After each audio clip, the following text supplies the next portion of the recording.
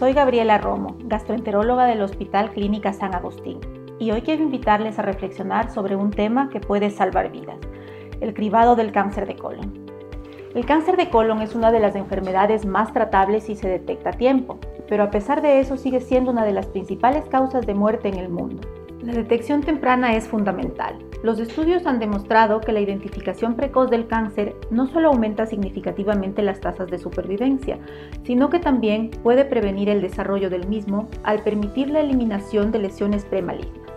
Este proceso es conocido como el cribado y es una herramienta poderosa contra la lucha de esta enfermedad. En el Hospital Clínica San Agustín estamos a la vanguardia de la tecnología de cribado del cáncer de colon. Contamos con equipos de última generación que nos permiten realizar colonoscopías con máxima precisión y comodidad para el paciente. Les animo a tomar el control de su salud y considerar el cribado de cáncer de colon, especialmente si tienen más de 50 años o antecedentes familiares de la enfermedad. En el Hospital Clínica San Agustín, su salud y bienestar son nuestra prioridad.